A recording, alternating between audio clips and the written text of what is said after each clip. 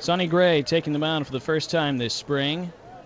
A's held him out of the first week of Cactus League play. Gray, that step to the side, the pause, then the 2 2 fastball swung on and missed. Another heavy sinker, and this time May swung right over the top. One away. One and two. Here's the pitch, and a slider hacked at and missed by Lawrie. It was way outside and in the dirt. Good block by Phegley, who then put the tag on him. Here comes another 3 2 pitch. Runner goes again. Pitch is swung on and missed. Throw to second on a line. The tag, and he's out at second.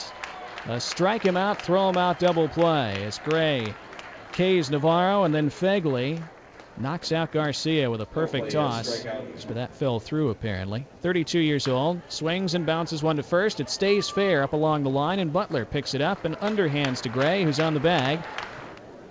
Closer to a return. Here's a swing and a fly ball to shallow center. Going out the shortstop Pinder. Coming in is Fuld from center, and it's Fuld. The call and the catch. 3 2 pitch, and Lawrie takes. Strike three call. Fastball that this time painted the inside corner. Bounced to short in the first inning. Pitch to him this time. He lines it right to third. Caught from his knees by Danny Valencia. That ball was scalded. He assumed that'll be it for Gray today. Solid first outing of spring for him. A run on three hits.